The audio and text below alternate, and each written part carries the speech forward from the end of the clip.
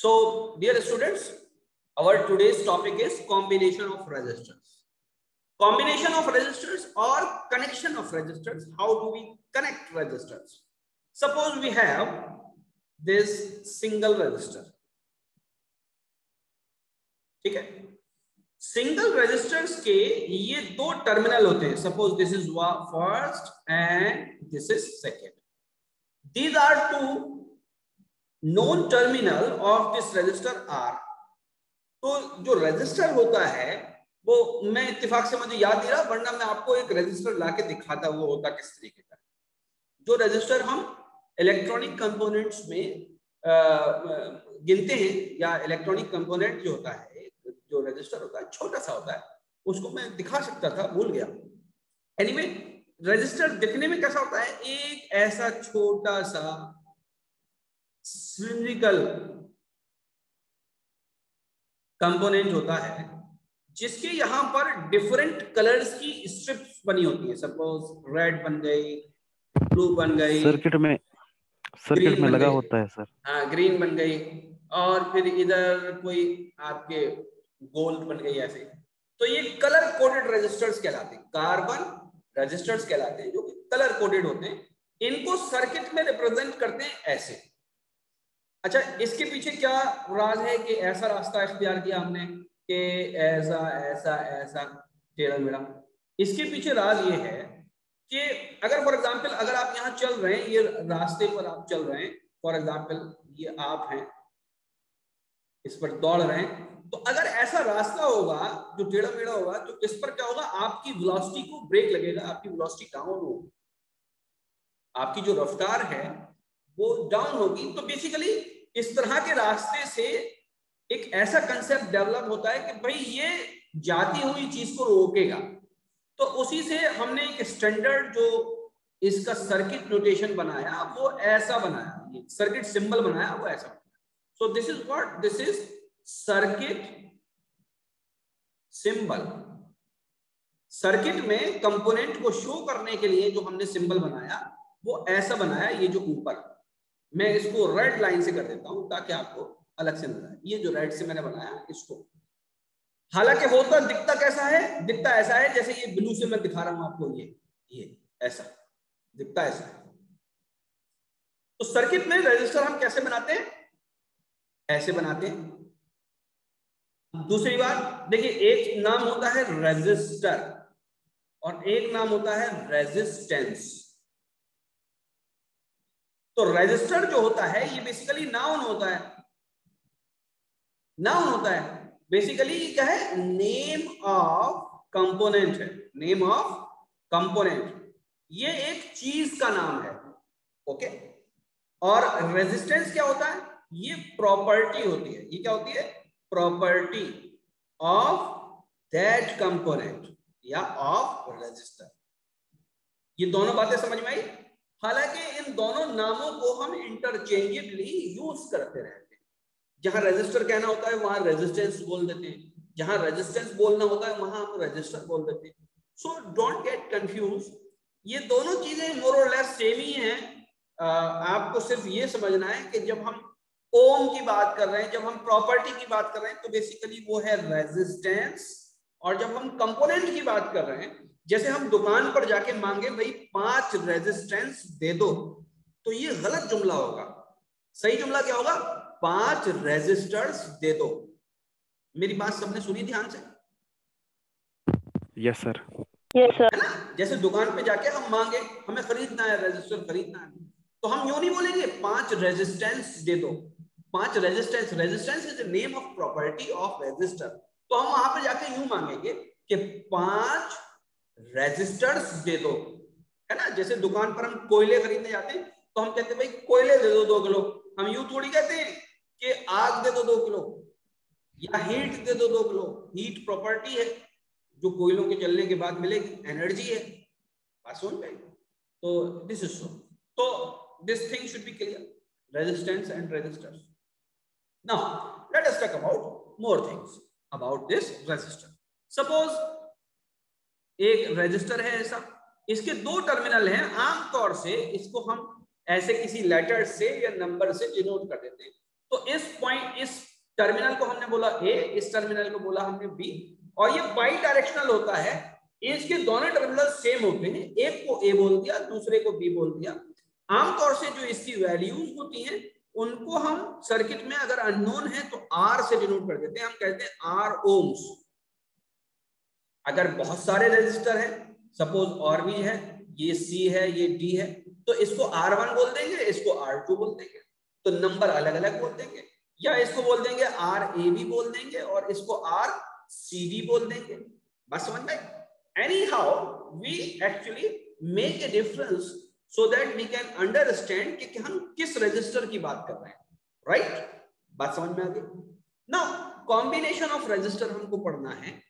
तो उससे पहले आप ये जान लीजिए कि जो रजिस्टर होता है, उसको, उसकी वैल्यूज़ हम कैसे लिखते हैं? सपोज़ कोई रजिस्टर है ए बी और यहाँ इसकी वैल्यू है फॉर एग्जांपल पाँच ओम तो इसकी वैल्यू पाँच ओम हो सकती है, इसकी वैल्यू दस ओम हो सकती है, इसकी अट्ठारह ओम हो सकती है, इसकी पाँच मिली ओम्स हो सकती है। बात समझ में इसकी पचास मिली ओम्स हो सकती है, इसकी पाँच मेगा ओम्स हो सकती है। बात समझ में? इसकी 0.1 किलो ओम्स हो सकती है। तो एनी वैल्यू का रजिस्टर बनाया जा सकता है मैन्युफैक्चर किया जा सकता है, उसकी कोई भी वैल्यू वहाँ पर हो सकती है। ये बात क्लियर होगी? Now but about combination of resistors resistors अब ये पॉइंट लिख रहा हूँ मैं। ठीक है? तो जो टेंथ क्लास में जो आपके टॉपिक है, उसके अकॉर्डिंग मैं पढ़ा रहा हूँ। हायर स्टडीज़ वालों के लिए और भी बातें बताई जाएँगी। रेजिस्टर्स ये नोट्स में आ जानी चाहिए आपकी बातें। Resistors can be connected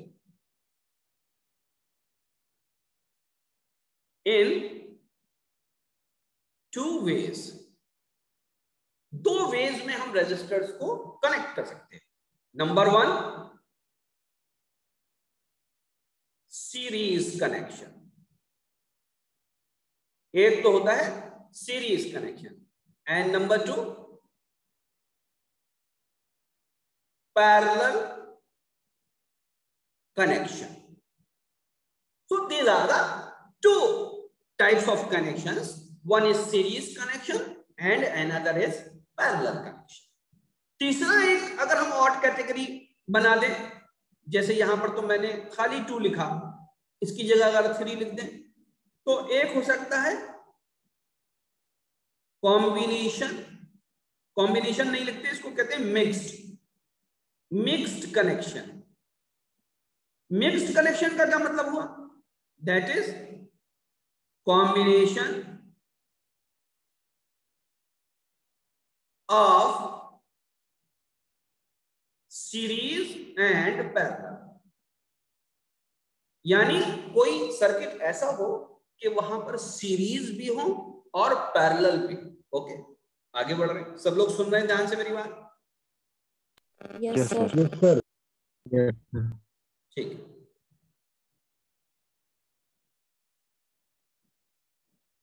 ध्यान से सुनिए। अब हम पहले कनेक्शन की बात करते हैं। सीरीज़ किसकी बात कर रहे हैं हम? सीरीज़ की।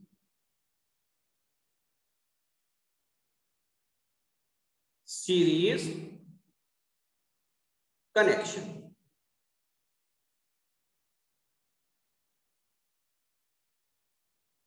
ओके?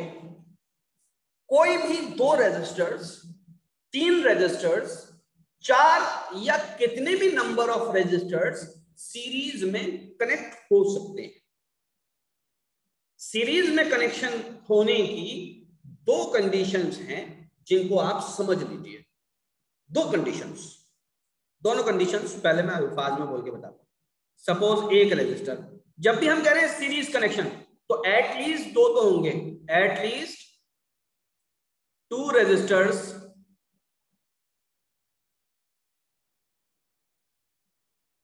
will be there कम से कम दो रजिस्टर्स तो होंगे ही। ये पहली कंडीशन नहीं है, ये बात याद रखना। अभी कंडीशन अभी बताऊँगा। एक दूसरा रजिस्टर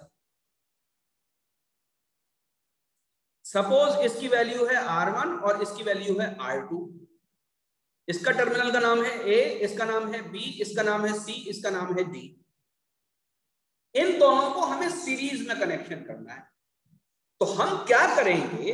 हम ये करेंगे कि ये जो टर्मिनल है, कोई कोई भी एक, इस रजिस्टर का कोई भी एक टर्मिनल इस रजिस्टर के किसी भी एक टर्मिनल से क्या कर देंगे हम? कनेक्ट कर देंगे। कनेक्ट कैसे करते हैं? जैसे फिर वही दो तार। ये दो तार दिख रहे हैं आपको? इन दोनों तारों को मिलाया और यूँ आपने अलबट्टे दे दिए। ऐसे तो करते घर में कनेक्शन और कैसे करते है? कि नहीं? या बस बाहर के स्क्रू ड्राइवर से करेंगे पेज पेज कस से करेंगे। हम क्या करें कि इसको कनेक्ट कर दें। जब इसको कनेक्ट कर देंगे तो ये बिल्कुल ऐसा नज़र आएगा। तो पिक्चर कैसी हो जाएगी? आर वन ये हो गया और आर टू ये हो गया। अब हमारे पास टर्मिनल कितने बचे? पहले टर्मिनल कितने थे? पहले थे चार। एक, दो, तीन और चार। अब टर्मिनल कितने हो जाएँगे? अब टर्मिनल हो जाएँगे एक और दो और ये बीच में दूसरा और तीसरा जो था, ये जम हो गया एब्जॉर्ब हो गया। तो इस टर्मिनल को आप तीसरा बोल सकते हैं। तो एक टर्मिनल कम हो गया। ये बेसिकली अब टर्मिनल नहीं कहलाएगा। ये क्या कहलाएगा? ये कहलाएगी नोड क्या कहलाएगी? नोड और ये क्या कहलाएगा? ये कहलाएगा टर्मिनल टर्मिनल का मतलब होता है खत्म हो जाना। टर्मिनल का मतलब क्या होता है? खत्म हो जाना। मतलब यहाँ से अगर कोई चीज़ चल रही है तो यहाँ पर आके स्टॉप हो जाएगी, रुक जाएगी। इसीलिए आपने देखा होगा, जो रेलवे स्टेशन होते हैं, या तो उनको जंक्शन कहा जाता है, या उनको स्टेशन कहा जाता है, या उनको टर्मिनल कहा जाता है। जैसे मुंबई के अंदर एक स्टेशन है, जिसको टर्मिनल के नाम से जानते हैं। कौन सा कौन सा है? छत्रपति छत्रपति शिवाजी टर्मिनल। किसी ने नाम सुना? है जी सर सुना हुआ है। Yes sir C S T. इसको बोलते? हैं ये पहले इसका नाम विक्टोरिया टर्मिनल था। क्या नाम था इसका? इसका नाम पहले था विक्टोरिया टर्मिनल या टर्मिनस। टर्मिनल की जगह क्या लिख देते हैं? टर्मिनस ठीक है वो वो अंग्रेज़ी की चीज़ है, जिनको हम बाद में तो टर्मिनल कुल मिला के ये वर्ड जो इस्तेमाल होता है टर्मिनल क्योंकि ट्रेन कभी भी उसके आगे नहीं जाती, वहाँ पर रुक जाती।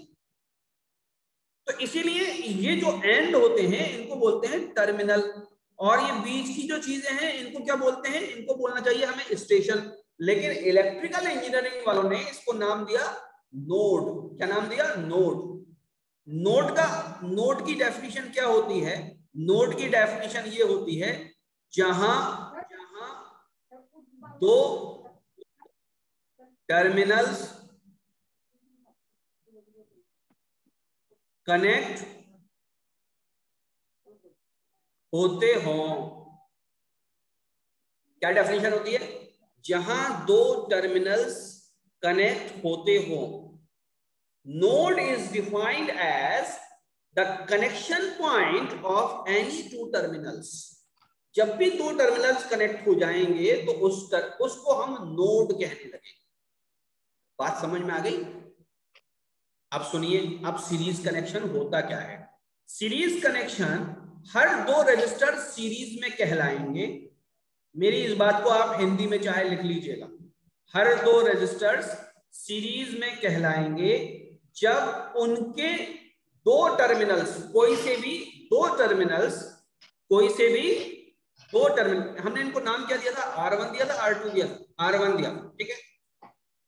This is R one and this is R two this R one and R two will will be called in series connection if any two terminals any one terminal of both of them are connected at a single point, एक condition तो ये। दूसरी condition क्या? कि ये जो terminal है, ये जो नोड है, ये कहीं और कनेक्टेड ना हो। दो कंडीशन क्या है? कि एक एक टर्मिनल तो कनेक्ट हो जाए और फिर यहाँ से कोई तीसरी जगह ना जा रहा हो। अगर ऐसा हुआ तो ये दोनों सीरीज़ कनेक्शन कहलाएँगे। क्या कहलाएँगे? सीरीज़ कनेक्शन बात समझ में आ गई आप लोगों के सबके या नहीं? पहली कंडीशन पहली कंडीशन क्या है? सीरीज़ कनेक्शन की any one terminal of both resistors are connected together हो सकता है कि मैं अंग्रेज़ी में कहीं कोई मिस्टेक कर दूँ तो उसको आप माइंड मत कीजिएगा I am not English teacher लेकिन आपके बात समझ में आनी चाहिए। सेकंड कंडीशन क्या है? ये कंडीशन लिखवा रहा हूँ मैं आपको। क्या लिखवा रहा हूँ? कंडीशन दो रेजिस्टर्स सीरीज़ में कब माने जाएँगे? उसकी कंडीशन दूसरी कंडीशन क्या है? The common node the node node बोलूँगा मैं. The node must not be connected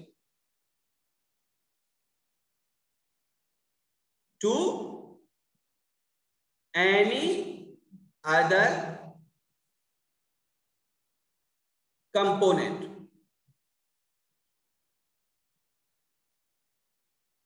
ठीक है? अब ये जो दूसरी कंडीशन है, वो क्या है? ये समझ लीजिए। सपोज़ एक कोई रजिस्टर है आर वन आर वन और दूसरा कोई रजिस्टर है आर टू तो ये दोनों किसमें? सीरीज़ में। हमने क्या किया? इसको यहाँ से किसी आरती से कनेक्ट कर दिया। और यहाँ पर कोई वोल्टेज लगा दिया। यहाँ पर ग्राउंड लगा दिया। तो अब ये R2 is not in series with R2 R1 is not in series with R2 यानी ये बीच वाली जो नोड थी, ये कहीं और कनेक्टेड नहीं होनी चाहिए। इससे चाहा यह जा रहा है कि जो जो करंट यहाँ फ्लो कर रहा था, वही यहाँ पर होना चाहिए। लेकिन अगर ये तीसरी कहीं और कनेक्ट हो गई तो एक करंट इधर भी चल देगा, या कहिए कि इधर भी चल देगा। इसका मतलब ये चाहा जा रहा है कि दो रेजिस्टर्स जब भी कनेक्टेड हो तो इस तरीके से कनेक्टेड हो कि यहाँ जितना करंट फ्लो कर रहा है सपोज़ यहाँ पर आई करंट फ्लो कर रहा है तो इसके थ्रू भी आई करंट फ्लो करे। अगर ये आई पाँच एम्पियर है तो पाँच एम्पियर ही कहाँ से फ्लो करे? आर टू के थ्रू करें। जब सेम करंट फ्लो करेंगे, तभी दो रेजिस्टर्स सीरीज़ में कहलाएँगे। ठीक है? तो हम क्या बोलेंगे? हम हम कह सकते हैं कि ये इंपॉर्टेंट पॉइंट है। Same current flows through series resistors बात समझ में आ गई? Same current flows through series resistor अगर सेम करंट फ्लो नहीं कर रहा है तो रेजिस्टर सीरीज़ में नहीं कहलाएँगे। अब सुनिए अब कितने रेजिस्टर सीरीज़ में हो सकते हैं? मैं बताता हूँ आपको। एक रजिस्टर ये आर वन एक और कनेक्ट कर दिया आर टू एक और कनेक्ट कर दिया आर थ्री एक और कनेक्ट कर दिया आर फोर इस तरह से चलते चले गए और आखिर में एक रजिस्टर और कनेक्ट कर दिया, जिसको नाम दिया हमने आर एन अब यहाँ टर्मिनल ए था, ये टर्मिनल ए था, और ये सपोज़ बी डैश था। या बी ही कह देते हैं हम इसको। ये कौन सा था? बी था सपोज़ तो ए से लेकर और बी तक, यहाँ से लेकर यहाँ तक जितने भी रजिस्टर्स कनेक्टेड हैं, ये all of them all of them are in series अब अगर हमने यहाँ से कोई ये बीच में से कोई टर्मिनल पिक कर लिया और इससे यहाँ से कहीं और करंट फ्लो करवा दिया तो एकदम से सीरीज़ कनेक्शन खत्म हो जाएगा। इधर के रजिस्टर और इधर के रजिस्टर अब सीरीज़ में नहीं रहेंगे। हर वो रेजिस्टर सीरीज़ में रहेंगे जो दो कंडीशंस मैंने आपको बताई हैं वो फुलफिल कर रहे हैं। समझ में आ गई बात? अब इनकी वैल्यू कैसे निकालते हैं? ठीक है? How do we how do we calculate the value okay how do we calculate the value इसको आप समझ लीजिए इसके बाद इंशाल्लाह आप सवाल पूछिएगा मैं जवाब सपोज़ एक रजिस्टर ऐसा है एक रजिस्टर ऐसा है। इसकी वैल्यू है आर वन और इसकी वैल्यू है आर टू यहाँ पर सपोज़ टर्मिनल ए है और यहाँ पर टर्मिनल बी है ओके तो it is ask to you to find out equivalent resistor कोई इक्विवेलेंट रजिस्टर ऐसा बताइए जिसके टर्मिनल ए यहाँ पर हो डी यहाँ पर हो तो ये आर इक्विवेलेंट तो R equivalent is the resistor resistance between R A D is equal to R one plus R two बात समझ में आई? जो रेजिस्टर्स होते हैं, उनकी वैल्यू को एज इट इज़ जोड़ दीजिए आप। अगर सपोज़ आर वन की वैल्यू दो ओम है और आर टू की वैल्यू पाँच ओम है तो ये कितना हो जाएगा? दो प्लस पाँच ब्रैकेट के बाद ओम लिख दीजिए is equal to seven ohms बात समझ में आ गई? अगर रेजिस्टर्स इतने सारे थे, ये वाले रेजिस्टर थे, ये वाले तो यहाँ पर आर ए बी किसके बराबर हो जाएगा? यहाँ पर आर ए बी बराबर हो जाएगा R one plus R two plus R three plus ऐसे करते करते कहाँ तक पहुँचेंगे हम? आर एम और ब्रैकेट के बाद क्या लिख देंगे? ओम्स सबके समझ में आ गई बात? तो सीरीज़ में सीरीज़ में अगर रजिस्टर्स कनेक्टेड है then the algebraic sum sorry then the arithmetic sum of all the resistors are the equivalent resistors समझ में? तो हम यहाँ पर लिख सकते हैं in series connection in series connection in series connection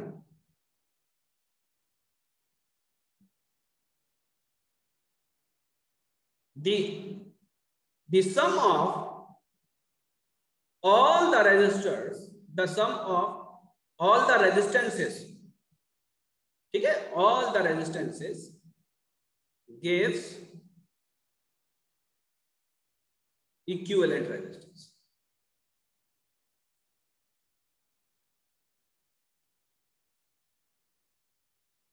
Equivalent resistance ठीक अब मुझसे आपको इस सवाल पूछ रहा था मुझसे पूछिए क्या सवाल पूछ रहे हैं आप?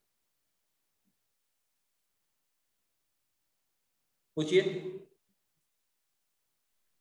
सर एक मिनट थोड़ा सा इसको स्लाइड को कौन सी चीज़ वाले पार्ट पे ले इस वाले पार्ट को ये जहाँ पर आपने ये कराया ना R one R one R two R three और आर फोर ये वाला। ये वाला सर हाँ बोल। इसमें सर ये आर थ्री के बाद आपने जो दूसरे नोड से कनेक्ट कर दिया है। अगर मैंने यहाँ पे ये कहा था अगर मैं ऐसा करूँगा तो ये सीरीज़ में नहीं होंगे। मतलब इससे जो पीछे वाले हैं वो तो सीरीज़ में होंगे ना तीनों? हाँ हाँ, हाँ। इससे पीछे वाले ये सब सीरीज़ में होंगे। जब तक होंगे जब तक जैसे फॉर एग्ज़ाम्पल यहाँ से अगर इधर कर दू तो ये दोनों तो सीरीज़ में होंगे लेकिन इसके इधर वाले नहीं होंगे। मतलब इनके सीरीज़ में नहीं होंगे ये आपस में हो सकते हैं। हाँ हाँ। जैसे मैं मैं आपका मैं आपकी परेशानी समझिए मैं अभी एक सर्किट बना देता हूँ। जैसे एक रजिस्टर ये बनाया एक रजिस्टर ये बनाया एक रजिस्टर ये बनाया एक रजिस्टर ये बनाया एक रजिस्टर मैंने आर वन लिखा आर टू लिखा आर थ्री लिखा आर फोर लिखा आर फाइव लिखा। बच्चों, कितने बच्चे बैठे हैं? सात बच्चे बैठे हैं, सात। ध्यान से सुन लो, जो सवाल पूछ रहा है वही यानी सीख रहा है। मैंने क्या किया? मैंने यहाँ से एक कनेक्शन उठा के एक यू कर दिया। ये आर सिक्स ले लिया। और यहाँ मान लो करंट भी फ्लो कर रहा है। तो ये R one R two R three ये सीरीज़ में है। आर फोर आर फाइव ये सीरीज़ में है। लेकिन ये सब सीरीज़ में नहीं है। ये नॉट इन सीरीज़ समझ में आ गया सूर्यांश? जी जी। अच्छा ये एक मिनट से भी कम रह गया। इसको स्टॉप करके हम दोबारा वापस आते हैं। फ़ौरन ही आऊँगा मैं मैसेज नहीं करूँगा व्हाट्सएप पे आओ। मैं व्हाट्सएप पर मैसेज नहीं करूँगा मैं फ़ौरन ही आ जाऊँगा। तुम लोग भी खुद ब खुद आ जाना ओके सुन लिया सबने? Yes sir yes sir okay ये वाली बात कंसेप्ट समझ में आ गया? अब फॉर एग्जांपल इसकी वैल्यू हम टू मान लें इसकी वैल्यू थ्री मान लें इसकी वैल्यू फोर मान लें इसकी वैल्यू फाइव मान लें इसकी वैल्यू सिक्स मान लें इसकी वैल्यू हम सेवन मान लें। और ये सब कैसी है? ये सब ओम्स में है। ये छह ओम है ये पाँच ओम है ये चार ओम है ये तीन ओम है ये दो ओम तो जब हम जब हम जोड़ देंगे तो इसका इक्विवेलेंट सर्किट जो बनेगा, वो कैसा बनेगा? वो एक रजिस्टर यहाँ, ये वाली जो नोड है, वो ये आ गई और दूसरा रजिस्टर यहाँ, ये वाला जो टर्मिनल है, वो ये आ गया। और ये वाला जो टर्मिनल है, वो यहाँ पर आ गया। और ये तीनों का जो सम है, वो यहाँ पर आ गया। ये है दो और तीन, पाँच और चार, सात। तो ये हो जाएगा सात ओम। ये है पाँच और छ ग्यारह। ये हो जाएगा ग्यारह ओम। बात समझ में ये इक्विवेलेंट बना रहा हूँ मैं इसका। ग्यारह हो गया और नीचे एज इट इज़ सात ओम का रजिस्टर ये वाला ये वाला रजिस्टर ये यहाँ। समझ में आ गई बात? कैसे जोड़ेंगे? और ये वाला जो टर्मिनल था जिसको मैं ग्रीन से डिनोट कर रहा हूँ ये ये आ ठीक है? तो कैसे हम रजिस्टर्स को हम हमारा मकसद क्या होता है इसको सीखने का? हमारा मकसद ये होता है कि सर्किट में जो बहुत सारे कंपोनेंट्स हमें नज़र आ रहे हैं उनको हम रिड्यूस कर दें छोटा कर दें कम कर दें। समझ में आ गई बात? क्लियर आ रही है मेरी आवाज़? Yes sir yes sir I hope के सीरीज़ क्लियर हो गया तुम लोगों को। अब हम बात करते हैं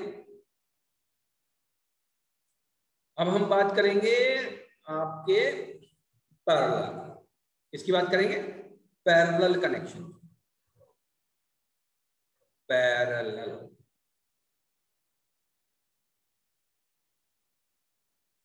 पैरेलल। जो मैं लिखता हूँ तुम लोग को साफ़ नज़र आता है ना? Yes sir yes sir yes sir handwriting तो खराब है है। लेकिन लेकिन फिर भी मैं थोड़ा बड़ा कर देता हूँ। हैंड राइटिंग तो मेरी खराब है काफ़ी। मैं कोशिश करता हूँ मैं बड़ा कर दूँ ताकि तुम लोग को कम से कम नज़र तो आए। अब ये देखो नज़र आ रहा है तुम्हें या नहीं? यस सर है ना? छोटा कर दे रहा हूँ थोड़ा सा वरना मुझे भी नज़र नहीं आएगा है ना? अब पैरेलल कब होते हैं? दो रेजिस्टर पैरेलल कब होते हैं? सीरीज़ का कंसेप्ट तो तुम समझ गए? सीरीज़ का कंसेप्ट क्या था कि बी एक एक टर्मिनल को जोड़ दो और बाकी दो को अलग निकाल दो ठीक है? पैरेलल में क्या होता है? सपोज़ एक रजिस्टर है ऐसा। और दूसरा रजिस्टर है ऐसा। पहला जो रजिस्टर था, सपोज़ ये R1 था, इसका जो टर्मिनल था A और इसका टर्मिनल था यहाँ पर B जो दूसरा रजिस्टर था, इसकी वैल्यू थी R2 इसका टर्मिनल यहाँ पर C था और इसका टर्मिनल यहाँ पर D था। तो कहा यह जाता है कि इसका एक टर्मिनल लो, इससे कनेक्ट कर दो। एक टर्मिनल को दूसरे टर्मिनल से कनेक्ट कर दो। तो अगर खाली ये किया तो ये दोनों सीरीज़ में हो गए। ये दोनों किसमें हो गए? सीरीज़ में हो गए। होगा या नहीं? ये देखो बी और डी दोनों सीरीज़ में आ गए। इस रजिस्टर को यूँ उठाओ, अगर देखो, उठा के यूँ करो तो ये ऐसी तो नज़र आएगा? ऐसी तो नज़र आएगा? ये टर्मिनल बी ये टर्मिनल ए और ए को हमने किससे मिलाया? यहाँ पर हमने ब्लू बनाया और फिर यहाँ से हम यहीं पर हमारे सी बी है और यहाँ पर हमारे डी आ गया। ये हमारा R2 है और ये हमारा R1 है। बताओ अगर खाली इतना किया तो ये किसमें हो गए? सीरीज़ में हो गए। इतनी बात समझ में आ गई? लेकिन खाली इतना नहीं करते हम। यस सर हम खाली इतना नहीं करते। इस इस फ़ाइल को मैं कॉपी कर दूँ ताकि बाद में अभी मैंने ये देखा, ये अपने आप होती रहती है। क्या नाम है? सेव होती रहती है अपने आप। मैं खामा खा इसका वेट करता था। तो एक एक तो ये हुआ कि हम सीरीज़ की तरह से एक टर्मिनल तो कनेक्ट कर दें। ये कर दिया हमने। दूसरा टर्मिनल भी कनेक्ट कर दें। दूसरा टर्मिनल भी कनेक्ट कर दें। और यहाँ से इसको बाहर निकाल लें और यहाँ से इसको बाहर निकाल बात समझ में इन दोनों को कनेक्ट कर लें। बात समझ में आई? अब जैसे फॉर एग्ज़ाम्पल तुम इमेजिन करो मेरे ये दो हाथ हैं नज़र आ रहे हैं तुम लोगों को? हाँ Yes, तो लग रहा तो मैं अपने फ्रेंड से हाथ मिलाता हूँ तो एक ही हाथ तो मिलाता हूँ? ठीक है? तो जिस वक्त मैं अपने फ्रेंड से हाथ मिलाता हूँ तो हम दोनों सीरीज़ में हो गए। किसमें हो गए? सीरीज़ लेकिन अगर दो अगर दोनों हाथ मिलाऊं मैं भी अपने दोनों बढ़ाऊं और वो भी अपने दोनों बढ़ाए हम दोनों अपने अपने हाथों से आ, मैं एक हाथ उसका और दूसरा भी हाथ पकड़ अगर तो हम पैरेलल में हो गए। तो यहाँ पर पैरेलल के लिए क्या है कि रेजिस्टर्स के दोनों टर्मिनल्स कनेक्टेड होने चाहिए इस तरीके से। तो ये R1 and R2 are set to be are set to be in parallel. बात समझ में R1 और R2 पैरेलल में कहलाएँगे। इस, इसका ये मतलब है, अगर ऐसे कर दो, कितने रेजिस्टर्स पैरेलल में कनेक्ट हो सकते हैं? उसको भी देख लेते हैं। सपोज़ एक रजिस्टर ये था सपोज़ एक R1 रजिस्टर है। एक और रजिस्टर है जिसकी वैल्यू है R2 एक और रजिस्टर है जिसकी वैल्यू है R3 एंड सो ऑन इसका मतलब करीब करीब एन रजिस्टर है, जिसकी वैल्यू है एनएच रजिस्टर की है आर एन हमने क्या किया? इन सारे टर्मिनल्स को मिला दिया ऐसे। अब याद रखिए, अभी सीरीज़ नहीं बना। अभी आप कभी सीरीज़ समझ रहे हो। अब ये सीरीज़ क्योंकि दो से ज़्यादा टर्मिनल हो गए। और यहाँ से एक टर्मिनल को खींच दिया यहाँ पर। ये ए था, ये बी सॉरी ये ए था, ये बी था, ये सी था, ये डी था। ये ई e था, ये एफ़ था, इसी तरह से ये कुछ रहा होगा, ये वाई रहा होगा, ये जेड तो ए सी ई ऐसे करके हमने सबको जोड़ दिया और यहाँ पर एक टर्मिनल नया बनाया सपोज़ ए डैश और इन सारे टर्मिनल्स को, इसको रेड से जोड़ देता हूँ। इसको, इससे इसको, इससे और जितने भी आए, सबको इससे जोड़ा और यहाँ से एक टर्मिनल इधर निकाल दिया। Suppose it is B dash तो इसका जो इक्विवेलेंट सर्किट बना, वो सिर्फ़ एक ही रजिस्टर का बना, जिसमें एक टर्मिनल ये था, जिसको हमने नाम दिया ए डैश और एक टर्मिनल ये था, जिसको हमने नाम दिया बी डैश और यहाँ पर जो रेजिस्टेंस बना, वो बना आर इक्विवेलेंट अब आर इक्विवेलेंट की वैल्यू कितनी होती है? क्या इसमें भी हम जोड़ देते तो इसमें जवाब यह है कि भाई इसको हम जोड़ते नहीं है। आर इक्विवेलेंट की वैल्यू निकालने का तरीका यह है कि R one upon R equivalent is equal to one upon R one plus one upon R two plus one upon R three plus and so on plus the last resistors last resistor का भी हम क्या लेंगे? Reciprocal लेंगे। और ये सब क्या करेंगे हम? इसको जोड़ देंगे। ये सब क्या करेंगे? इसको जोड़ देंगे। ये किसके बराबर आएगा? Reciprocal of equivalent resistor in reciprocal of the equivalent resistance के बराबर ये सारी वैल्यूज़ आएँगी इसको हम कैसे लिख सकते हैं? देखिए सीरीज़ रेजिस्टर की सीरीज़ इक्विवेलेंट रेजिस्टर की रेजिस्टेंस की प्रॉपर्टी क्या थी?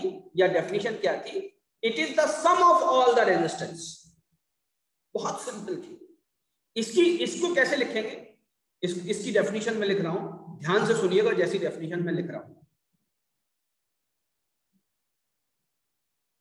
Reciprocal of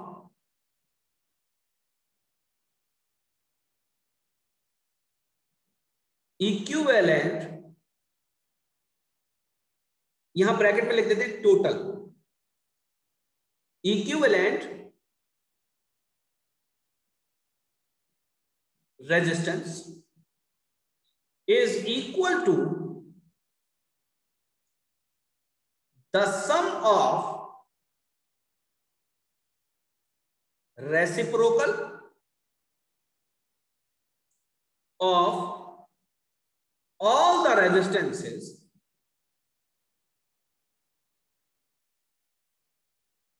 connected in parallel. Connected in parallel. देखिए रेसिप्रोकल ऑफ़ इक्विवेलेंट इक्विवेलेंट का रेसिप्रोकल ही तो है ये। ये क्या चीज़ है? इक्विवेलेंट का रेसिप्रोकल ही तो है ये। या कहिए टोटल है। Resistance is equal to the sum of reciprocal of all the resistances all the of the resistances connected in parallel अगर पैरेलल कनेक्शन है तो सारे रेजिस्टेंसेस का क्या करें? रेसिप्रोकल करें। ये हमने R one by R one किया। ये हमने वन बाई आर टू किया। ये हमने वन बाई आर थ्री किया। सारे रेजिस्टेंसेस का हमने क्या किया? रेसिप्रोकल किया। और इनको जोड़ दिया। ये रहा जोड़ा। देखिए, ये प्लस ये प्लस और ये प्लस सबको जोड़ दिया। तो हमें मिलेगा क्या? हमको इक्विवेलेंट रेजिस्टेंस का रेसिप्रोकल मिलेगा। क्या मिलेगा? इक्विवेलेंट रेजिस्टेंस का रेसिप्रोकल मिलेगा। इसको और कैसे लिख सकते हैं? जरा ये भी देख लेते हैं। आर इक्विवेलेंट अगर हमें डायरेक्ट निकालना है इन पैरल इन पैरल तो उसका तरीका क्या है? अगर हम ये निकालना चाहते हैं तो उसका तरीका क्या है? उसका तरीका है one upon one upon R one plus one upon R two plus one upon R three, plus and so on, plus one upon R one, R N, ये हो जाएगा या क्या कह सकते हैं हम? हम कह सकते हैं one upon R one, plus one upon R two, plus one upon R three, plus ये चलते चले गए, कहाँ तक गए? आर एन तक गए। और यहाँ ब्रैकेट लगाया, ब्रैकेट सॉरी मैं ब्रैकेट सही से लगाऊँगा। फिर हमने ये ब्रैकेट लगाया और यहाँ पावर बना दी माइनस वन पावर क्या बना दी? माइनस वन ये किसके बराबर हो जाएगा? ये बराबर हो जाएगा आर इक्विवेलेंट कौन सा इक्विवेलेंट पैरेलल वाला। क्या किसी को मुझसे कुछ पूछना है यहाँ तक? माइनस वन क्या क्या चीज़? माइनस वन लगाया ना आपने सर? नहीं सुन पा रहा मैं। ठीक से बोलिए। सर अभी आपने माइनस वन लगाया है माइनस वन माइनस तो वन लगाया है ना आपने? भाई भाई वन अपॉन ए को मैं क्या लिख सकता हूँ? ए की पावर माइनस वन नहीं लिख सकता? ओके सर है ना? वही तो लिखा ये वन ये वन अपॉन था ना यहाँ पे। हाँ। पूछिए। सर इसमें वोल्ट सर इसमें वोल्टेज सेम रहती है करंट सेम हाँ, रहता अभी है इन- अभी मैं अभी ये बात आए बातें आने वाली हैं। अभी मैंने चुपता हुआ मैं। बात सही है आपकी। अभी बातें आएँगी। अभी तो मैं यहाँ तक पूछ रहा हूँ कि यहाँ तक सबके समझ में आ गया या नहीं आ गया? यस सर यस सर आ गया सबके? सर आ गया। सर हाँ पूछिए बेटा। सर रेजिस्टेंस को रेसिप्रोकल ही क्यों लेते हैं? सर रेजिस्टेंस को रेसिप्रोकल ही क्यों लेते हैं? रेसिप्रोकल ही क्यों लेते हैं? हम हमेशा तो नहीं लेते पैरेलल में लेते हैं। क्यों लेते हैं? ये आगे कैलकुलेशन में समझ में आ जाएगा अभी तो खाली डेफिनेशन बताई जा रही है। अभी कैलकुलेशन में समझ में आ जाएगा क्यों लेते हैं। और और कोई सवाल?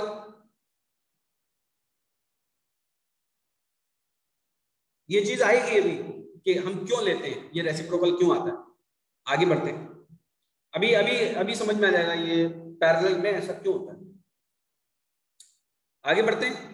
अब consider two resistors two special case special case special case two resistors are in parallel ये स्पेशल केस है। टू रजिस्टर्स का मतलब खाली टू नहीं मतलब और कुछ नहीं only two only two resistor सिर्फ़ दो रजिस्टर पैरेलल में हो तो क्या होगा?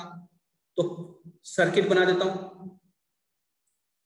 ऐसे ऐसे, इसकी वैल्यू है आर वन इसकी वैल्यू है आर टू और यहाँ पर सपोज़ ए और यहाँ पर सपोज़ बी तो इसका इक्विवेलेंट सर्किट कैसे बनेगा?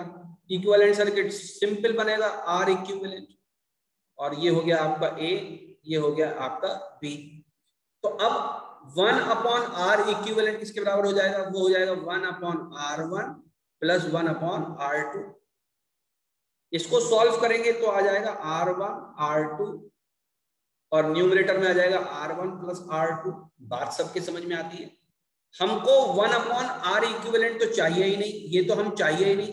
हमें तो चाहिए आर इक्विवेलेंट, क्योंकि ये यहाँ पर आर इक्विवेलेंट है।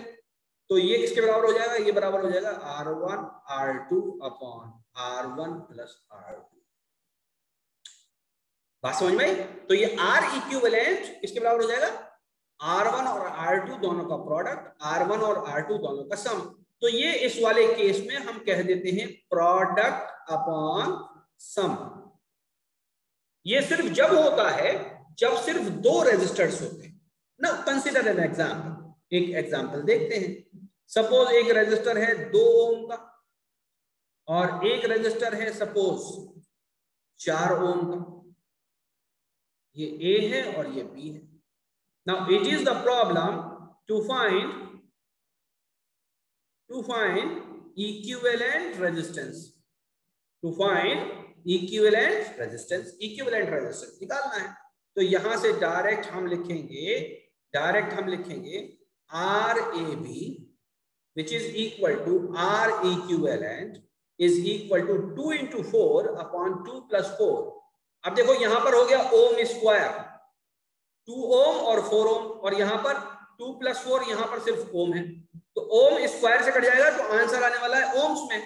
दो चौक आठ डिवाइड बाई छ तो आंसर हो जाएगा चार बटे तीन ohms this is the answer तो हमें रेसिप्रोकल वाला फॉर्मूला लगाने की ज़रूरत नहीं है। अगर दो, अगर सिर्फ़ दो हैं अगर सिर्फ़ दो रजिस्टर्स पैरेलल में हैं तो हम कौन सा फार्मूला लगाएँगे? हम ये वाला फार्मूला लगाएँगे प्रोडक्ट अपॉन सम वाला। कौन सा फार्मूला लगाएँगे? ये वाला। प्रोडक्ट अपॉन सम ये बात याद रखनी ठीक है? दिस इज़ वन थिंग अब दूसरी बातें करते हैं। यहाँ तक सबके समझ में आ गया भाई? यस सर है ना? अब हम Yes, दूसरी sir. बात करते हैं। यस yes, सर अब सीरीज़ और पैरेलल में जरा कंपैरिजन कर लेते हैं। सीरीज़ यहाँ पे लिखा सीरीज़ और यहाँ पे लिखा मैंने पैरेलल ठीक है? यहाँ पे अगर इक्विवेलेंट निकालना हो तो यहाँ पे कैसे करते हैं? डायरेक्ट जोड़ देते हैं। एंड सो ऑन और यहाँ पर अगर इक्विवेलेंट निकालना हो तो यहाँ पर क्या करते हैं? रेसिप्रोकल को जोड़ते हैं। क्या, किसको जोड़ते हैं? रेसिप्रोकल को जोड़ते हैं।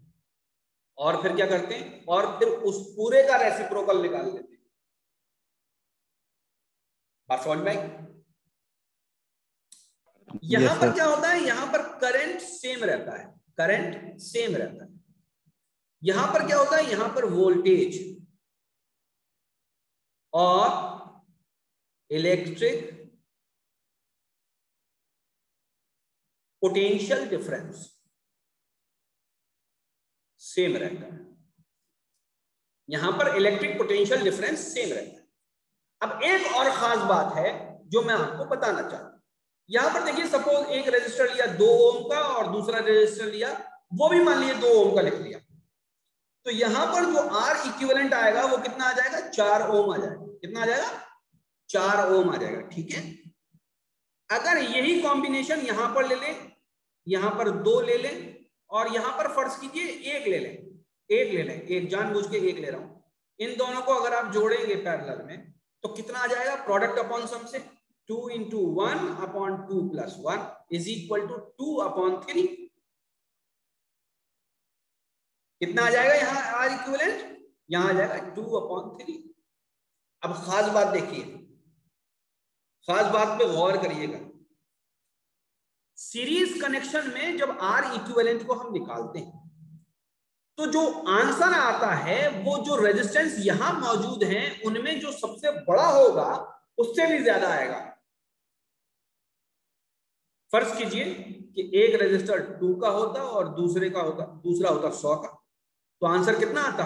आंसर आता 102 तो 102 सौ से भी ज़्यादा है या नहीं? सबके समझ में आ रही है बात? यस सर यस सर तो सीरीज़ कनेक्शन में रेजिस्टेंस बढ़ जाता है। क्या हो जाता है? बढ़ जाता है, सबसे ज़्यादा। उसमें जो सबसे बड़ा होगा, उससे भी ज़्यादा आएगा, क्योंकि जुड़ रही है चीज़ें। पैरेलल कनेक्शन में जो सबसे छोटा होता है, छोटा ये है ना वन तो टू बाई थ्री वन से छोटा होता है। Two by three is less than one भाई टू बाई थ्री वन से छोटा होता है या नहीं? टू बाई थ्री किसके बराबर होगा? Zero point six six seven कितना होगा? तो पैरेलल कनेक्शन में जो इक्विवेलेंट रेजिस्टेंस आएगा या पैरेलल कॉम्बिनेशन का रेजिस्टेंस आएगा वो सबसे छोटे रेजिस्टेंस से भी कम आएगा। और सीरीज़ रेजिस्टेंस में जो इक्विवेलेंट रेजिस्टेंस आएगा वो सबसे बड़े से भी ज़्यादा आएगा। इस बात की समझ में आ गया ये बात? सेम में ई नहीं लगाया था. पूरा। किसी को कुछ अब यहाँ तक पूछना है या नहीं? नो सर अच्छा और कितने हैं यहाँ पर? भाग्यशाली। आज जितने बच्चे हैं वो सब भाग्यशाली हैं। आज मैंने ज़रूर तुम्हें ऐसी बातें बताई होंगी जो तुम्हें पहले से पता नहीं होंगी। बताई ऐसी या नहीं? यस सर सर Yes, बहुत कुछ बताया सर। हाँ तो अब तुम इन सबको सीख लेना। मैं इसको यूट्यूब पे अपलोड कर दूँगा। बार बार तुम सुन भी सकते हो इसको। इसको सुन इसको तुम मैं अपलोड करूँगा। जो क्वेश्चन हैं वो उनको मैं ज़्यादा अपलोड नहीं करूँगा। क्योंकि फिर मेरा मतलब ही करा जाएगा। मुझे तो कोई पूछेगा नहीं ना। फिर क्यों पूछेगा कोई? फिर तो यूट्यूब पे जाके देख लेगा खामोशी से। जी। तो आज के लिए इतना ही। कल हम अ, कल मैं अ, शायद मैं क्लास नहीं कर पाऊँगा क्योंकि मुझे जाना है जमात में। तो मैं क्वेश्चन डाल देना जी। है? सर नहीं। क्वेश्चन डाल देना दिन में सर अब अब जो क्लास होगी वो जरा एक एक दो दो दिन के गैप पर होगी क्योंकि मैं चाह रहा हूँ, अब तुम बायोलॉजी और केमिस्ट्री पढ़ते रहो। अलबत्ता ये ये जो चैप्टर है इलेक्ट्रिसिटी ये मैं खत्म करा देना चाहता हूँ। ये मैं खत्म इसलिए करा देना चाहता हूँ कि ये शुरू हो गया है, अब इसमें इंटरेस्ट पैदा हो गया तुम लोगों को। तो ये खत्म हो जाएगा, फिर मैं जरा कुछ दिन का ब्रेक लूँगा ब्रेक मुझे इलेवेंथ क्लास वालों को काइनेमेटिक्स समझाना है। तो इलेवेंथ क्लास वालों को काम नहीं कर पा रहा हूँ मैं तो उनको जोड़ना है मुझे। तो उनके, उनको मुझे काइनेमेटिक्स पढ़ाना है। इसलिए कुछ दिन का मैं ब्रेक लूँगा। अलबत्ता इलेक्ट्रिसिटी में तुम्हारी कंप्लीट करा दूँगा। फिर आठ दस दिन के बाद दोबारा ज्वाइन कर लूँगा मैं। जब बायोलॉजी वाले ब्रेक लेंगे तो फिर मैं शुरू कर दूँगा। ठीक है? बहरहाल इलेक्ट्रिसिटी में चाहता हूँ कि इसी कंटिन्यूएशन में खत्म करा दूँ। अलबत्ता कल क्लास नहीं होगी, परसों भी नहीं होगी, और शायद इतवार में भी नहीं होगी। अब फिर होगी तो पीर में होगी मंडे में। मंडे में भी दोनों टीचर्स हैं केमिस्ट्री के भी और बायोलॉजी के भी। शायद वो दोनों क्लास लेंगे। अगर वो दोनों क्लास लेंगे तो मैं तुम लोगों से टाइम पूछ लूँगा कि किस वक्त मुझे करनी है क्लास तो ये भी हो सकता है कि मैं रात को बहुत लेट नाइट लूँ। तो आई होप तुम लोग अगर क्योंकि घर में ही बैठ रहे थे तो दस बजे भी तुम्हें प्रॉब्लम होनी नहीं चाहिए रात को। यस सर यस सर अगर होगी तो मैं अपलोड कर ही दूँगा देख लेंगे तो साढ़े नौ बजे से कर सकते हैं नौ बजे से कर सकते हैं। आमतौर से नौ बजे नौ बजे तक तो कोई टीचर पढ़ाता नहीं है। तो मैं नौ बजे भी पढ़ा मैं तो फजर में भी पढ़ा सकता हूँ तुम लोगों को। अगर तुम कहोगे तो सात बजे अगर उठ जाओगे तुम लोग आके मिलते हो कभी कर लो सर हम तो पहले भी उठ जाते हैं। सब सब उठ जाएँगे या नहीं? यस सर इंशाल्लाह अरे रहने दो सोते रहोगे तुम सब। सर नमाज़ के लिए खड़ा होते जब खड़ा हो जाते हैं सर। ऐसा है यस सर यस सर अभी रात में तो तुम जाग रहे हो तो अभी तो तुम जरा उसमें क्या नाम है उसमें जरा जोश में आके कह दे रहे हो जब सुबह को मैं आऊँगा ना जूम पर तो मैं अकेला ही लहराता रहूँगा यहाँ पर और तुम लोग तो आराम से जो है ख्वाबों की बस्ती में घूम रहे हो मतलब या कम से कम हाँ कुछ लोग तो उठ ही जाते होंगे ऐसा मैं ये नहीं कह रहा कि सभी सोते होंगे कुछ तो ज़रूर सर होंगे। बहरहाल चलो रात में देख लेंगे किसी टाइम रात में देख हालाँकि सुबह का जो वक्त होता है वो बड़ा बरकत वाला होता है। सुबह में कभी सुबह को ही पढ़ेंगे। कर हैं? सुबह का ही सुबह का ही सर सुबह ही दिन पढ़ेंगे अब सुबह हालाँकि तुम पढ़ लो ना तो वो बड़ी बरकत वाला वक्त होता है। एनीवे यस सर जैसा आप सुबह पढ़ा। दें कोई नहीं अभी तो मैं अभी तो मैं पढ़ाऊँगा ही नहीं आपके कल भी नहीं परसों भी नहीं और शायद नरसों भी नहीं। अलबत्ता मुझे मौका मिल गया तो मैं वीडियो बना के अपलोड कर दूँगा। ठीक है? Yes sir yes sir. ठीक है तो अभी मैं रखता हूँ। किसी को कुछ पूछना है? आज की टॉपिक से रिलेटेड कुछ पूछना हो तो मैं रुकता हूँ अदरवाइज़ अस्सलाम वालेकुम। अस्सलाम वालेकुम सर वालेकुम सर अस्सलाम। वालेकुम अस्सलाम।